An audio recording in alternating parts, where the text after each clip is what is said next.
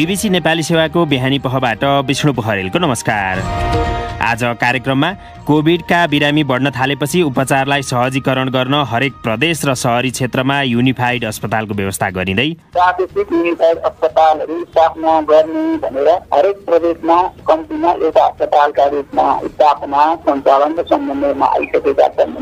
अनि? भेहिकलका कलर परिवर्तन गरेर हुन्छ कि के गरेर हुन्छ? उहाँहरूलाई कानुनी दायरामा ल्याउँछौँ। राइड सेयरिङ सेवाको नियमनबारे प्रदेश सरकारका एक अधिकारी र विरोध प्रदर्शन जारी रहँदा कजाकिस्तानका राष्ट्रपतिको आग्रहमा रुसी सैनिकहरू उक्त देशमा प्रवेश। तर सुरुमा आजका प्रमुख विश्व समाचार। सञ्जीव गिरीबाट समाचार सुन्नुहोस्। कजाकिस्तानमा सरकार विरोधी प्रदर्शनलाई मत्थर पार्नका लागि त्यहाँ पठाइएको रुसी नेतृत्वको सैन्य बलका प्रमुखले त्यहाँ केही दिन वा सम्भवतः केही हप्तासम्म साढे दुई हजार सेना तैनात गरिने जनाएका छन्। प्रदर्शनकारीहरूले कब्जा गरेका सरकारी भवनहरूमा पुनः आफ्नो नियन्त्रणमा लिने प्रयासरत कजाकिस्तानका सुरक्षा निकायहरूलाई सहयोग गर्नका लागि केही सैन्य अधिकारीहरू त्यहाँ पुगिसकेका छन्। कजाकिस्तानमा रातभर हिंसा जारी रहेको बताउँदै बीबीसी संवाददाता अब्दुल जलिल अब्दुल रास्लोभ भन्छन्। मैले विस्फोटन स्टन ग्रेनेड अनि बन्दुक प्रहारको समेत आवाज सुनिरहेको छु। कसले कसलाई प्रहार गरिरहेको छ भन्न कठिन छ। अहिले अध्यरो भएकाले ती कार्य भइरहेका स्थान नजिक पुग्न सकिरहेको छैन। बीबीसी संवाददाताको भनाई अधिकारीहरूले एलमाटी सहरको एउटा प्रमुख चोकमा पुनः नियन्त्रण कायम गरेका छन्। कैयौं प्रदर्शनकारीहरू मारिएको बताइएको छ तर त्यसको यकिन संख्या भने प्राप्त हुन सकेको छैन। अधिकारीहरूले सुरक्षा निकायका अठार जना मारिएको जनाएका छन्। कजाकिस्तानमा रुसी नेतृत्वको सैन्य बलको उपस्थितिका क्रममा त्यहाँका सरकारी निकायहरू नियन्त्रणमा लिने प्रयास नगर्न अमेरिकाले मस्कोलाई चेतावनी दिएको छ। अमेरिकी विदेश मन्त्रालयका एकजना प्रवक्ता नेट प्राइसले वासिङटन र विश्वले त्यहाँ मानवाधिकार उल्लङ्घन सम्बन्धी विषयलाई निहाल्ने जनाएका छन्। यसअघि युरोपेली संघका विदेश नीति प्रमुखले कजाकिस्तानमा विदेशी सेना तैनाथीको विषयलाई सावधानीका साथ हेरिनुपर्ने बताएका थिए।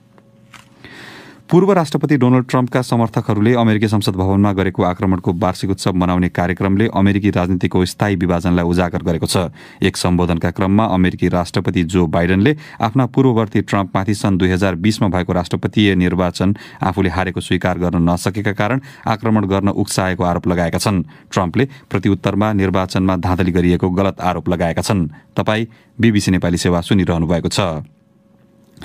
चीनले उत्तरी लद्दाख क्षेत्रमा एउटा पुल निर्माण गर्न लागेको खबरहरूको प्रतिउत्तरमा भारत सरकारले आफ्नो देशको सुरक्षा चासोहरूको रक्षार्थ कदम चाल्न लागेको जनाएको छ। पछिल्ला सेटेलाइट तस्विरहरूमा प्याङ्गोङ सो तालमा निर्माण कार्य भइरहेको देखिन्छ।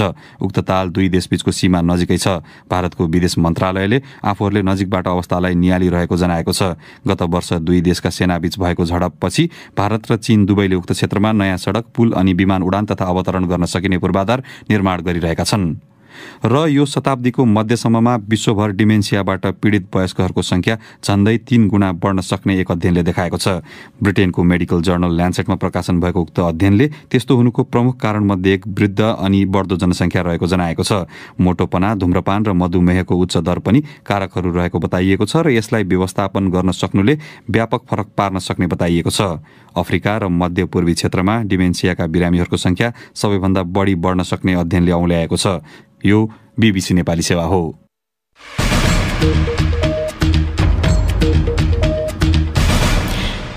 बिहानी पहमा पुनः स्वागत छ।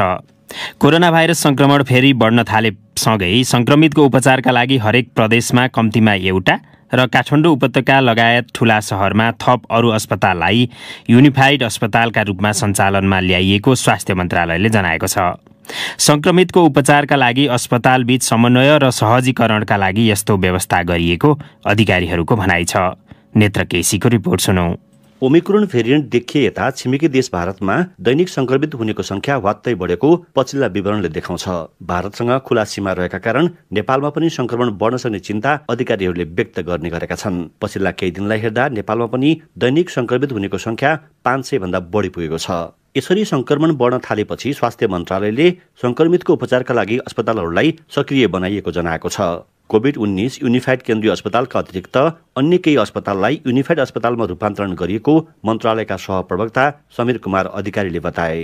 अहिले सबै प्रदेशमा प्रादेशिक युनिफाइड अस्पतालहरू स्थापना गर्ने भनेर हरेक प्रदेशमा कम्तीमा एउटा अस्पतालका रूपमा स्थापना सञ्चालन र समन्वयमा आइसकेका छन् भने काठमाडौँ उपत्यकाभित्र र अलिक धेरैवटा ठुला अस्पताल भएका ठाउँहरूमा थप अरू अस्पतालहरूलाई पनि युनिफाइड अस्पतालसँग जोडेर सेवा प्रवाह गर्ने व्यवस्था गरिएको छ। अहिले कोभिड उन्नाइस युनिफाइड केन्द्रीय अस्पतालका रूपमा वीर अस्पतालले काम गर्दै आएको छ। युनिफाइड अस्पतालहरूले संक्रमितको उपचारमा सहजीकरण गर्ने अनि एउटा अस्पतालमा उपचारमा आउनेको संख्या धेरै भएमा अर्को अस्पतालमा प्रबन्ध मिलाउने जस्ता काम गर्न सहज हुने सहप्रवक्ता अधिकारीले बताए। सेन्टरमा बसेर अस्पतालसँग समन्वय गरिराख्ने प्रणाली बनाइएको छ।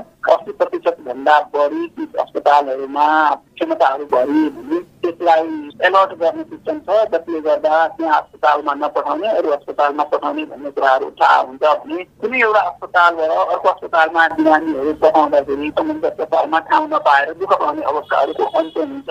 यस्ता प्रबन्धले विगतका वर्षहरू जस्तो संक्रमितहरूले समयमा उपचार नपाउने समस्या कम हुनेमा सहमत देखिने विज्ञहरू अरू अस्पताललाई पनि तयार पारेर राख्नुपर्ने बताउँछन्। त्यस्तै मध्येका एक हुन् इपिडिएमियोलोजी तथा रोग नियन्त्रण महाशाखाका पूर्व निर्देशक डाक्टर वासुदेव पाण्डे। जुनसुकै अस्पतालमा पनि यस्ता बिरामीहरू आयो भने तिनीहरूको व्यवस्थापन गर्नुपर्छ। त्यसो गऱ्यो भनेदेखि बिरामीहरूलाई सहिलो हुन्छ। बिरामीहरू आयो भने सरकारी प्राइभेट जता जहाँ हुन्छ त्यो बिरामी राख्न सक्ने व्यवस्थापन गर्नु पर्यो। त्यसको लागि अक्सिजन र बेडको र आइसियुको व्यवस्थापन गर्नु नै सबभन्दा प्रमुख कुरा हो। त्यसकै लागि सरकारले लाग्नुपर्ने हुन्छ। स्वास्थ्य मन्त्रालयले अन्य सरकारी अस्पताल र निजी अस्पताललाई समेत संक्रमितको उपचार हुने गरी व्यवस्था गरेर तयार हुन भनिएको जनाएको छ। हालका लागि जिल्ला तहसम्म र स्थानीय तहमा रहेका ठूलो अस्पतालमा कोरोना भाइरसका संक्रमित र अन्य बिरामीको उपचार हुने मन्त्रालयका अधिकारीहरू बताउँछन्। नेत्र केसी बिबिसी। काठमाडौँ। अर्को प्रसङ्ग। नेपालमा केही वर्षदेखि सञ्चालित टुटल र पठाओ जस्ता राइड सेयरिङ सेवाको नियमन नहुँदा ग्राहक ठगिने र ठूलो राजस्व समेत गुम्ने अवस्था आएको विवरण सार्वजनिक भएका छन्। यसै सन्दर्भमा हामीले बागमती प्रदेशको श्रम रोजगार तथा यातायात मन्त्रालयको यातायात व्यवस्था महाशाखामा कार्यरत सूचना अधिकारी प्रकाश अधिकारीलाई सम्पर्क गरी राइड सेयरिङ सेवाको नियमन किन नगरेको भनेर सोधेका थियौँ। सुरुवातमा यिनीहरूलाई स्वीकृति कहाँबाट प्राप्त भएको छ चलाउने भन्ने कुरा जस्तो नेपालभित्रको टेरिटोरीभित्र चलाउने स्वीकृति कसै न कसैले त दिएको हुनुपर्छ। त्यो यातायात व्यवस्था विभागले दियो कि यो त प्रदेश स्थापना भन्नुभन्दा अगाडिदेखिको सुरुवात हो यो राइट सेयरिङ त। भन्न खोजेको तपाईँहरू त्यो कसले दियो भन्ने विषयमा प्रदेश सरकार मन्त्रालय अहिलेसम्म जानकार छैन भन्न खोज्नु भएको छैन। यो विषयमा अहिलेसम्म मन्त्रालयलाई उनीहरूलाई स्वीकृति आजका दिनमा कुन निकायले दिएको छ भन्ने कुरा आजसम्म जानकारीमा छैन। भनेपछि यी कसरी सञ्चालन भइरहेछन्? त्यो नभएपछि त तपाईँहरूले त्यसमा त रोक लगाउन सक्ने वा नियमन गर्न सक्ने बाटो त रहन्छ होला नि? किनभने तपाईँहरूले त कानुनमा पनि केही कुराहरू समेट्नु भएको छ यस विषयमा। हाम्रो प्रदेश सवारी व्यवस्था ऐनको चौध नम्बर दफामा चाहिँ एउटा के व्यवस्था गरेको छ भने निजी सवारीले निश्चित शर्तहरू पुरा गरेर बिमाका कुराहरूदेखि लिएर यात्रुको सुरक्षाका कुराहरूलाई चाहिँ पुरा गरेर यात्रु ओसार पसार गर्न सक्ने भन्ने कुरा राखेको छ। फेरि त्यही ऐनको सत्र नम्बर दफामा चाहिँ के छ भने एक प्रयोजनको लागि दर्ता भएको सवारी अर्को प्रयोजनको लागि प्रयोग गर्न पाइने छैन भन्ने छ। तथापि हामीले चाहिँ अब नियावली बनाउँदैछौँ। यो नियावलीमा चाहिँ हामीले राइट सेयरिङ भएका अहिले जति पनि टुटल पठाओ जस्ता एप्लिकेसनबाट चल्ने जुन एउटा कम्पनी भनौँ तिनीहरूलाई चाहिँ हामीले कुनै न कुनै रूपमा कानुनी दायरामा ल्याउँछौँ भनेको बाजिने किसिमका कुराहरू पनि रहेछन् ऐन कानुनमा। होइन?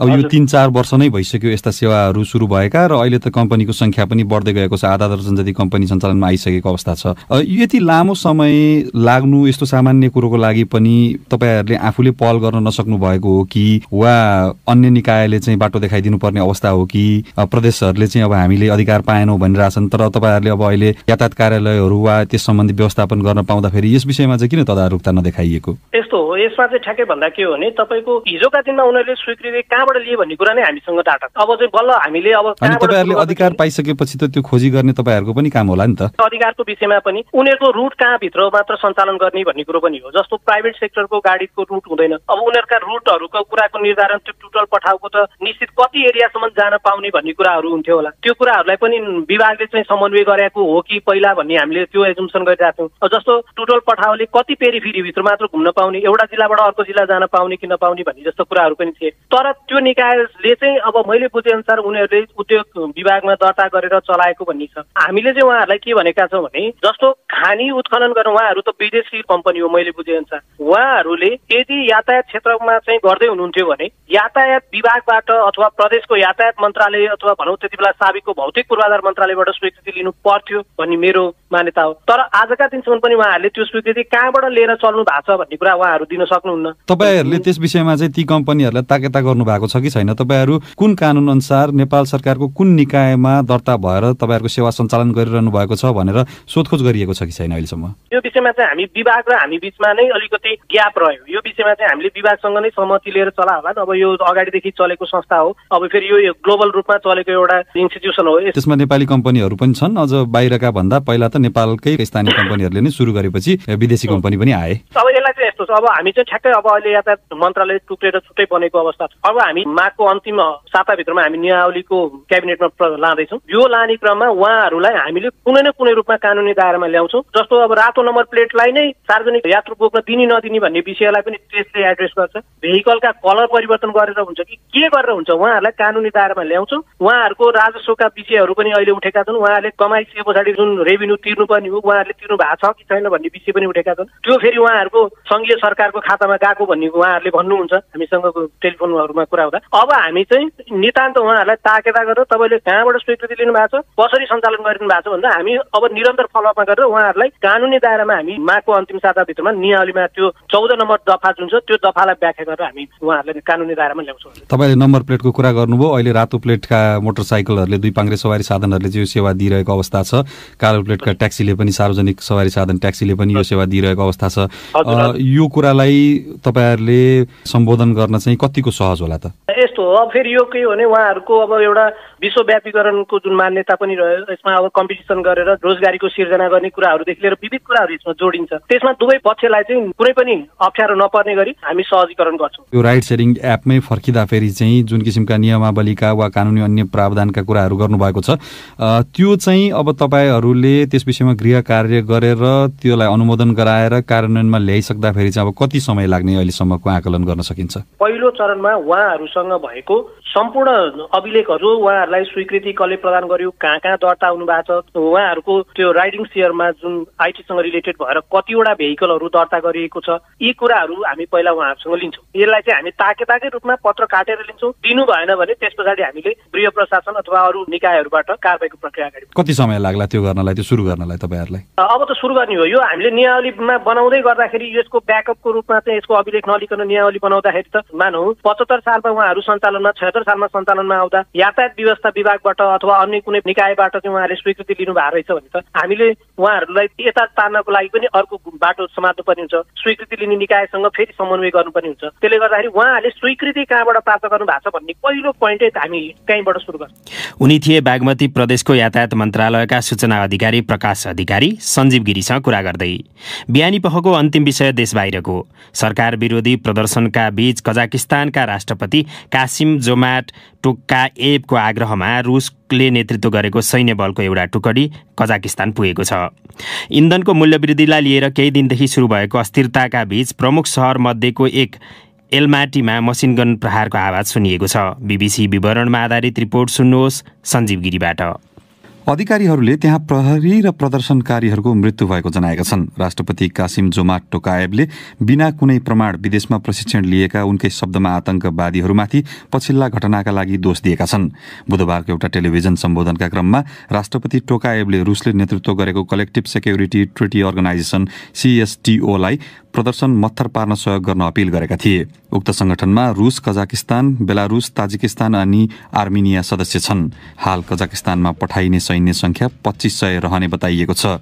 सीएसटीओले ती सुरक्षा अधिकारीहरू शान्ति सेना रहेको र उनीहरूले राज्य तथा सेनाको सम्पत्ति रक्षा गर्ने जनाएको छ। उनीहरू कजाकिस्तानमा केही दिन वा केही हप्ता बस्न सक्ने रुसी समाचार संस्था आरआईएले जनाएको छ।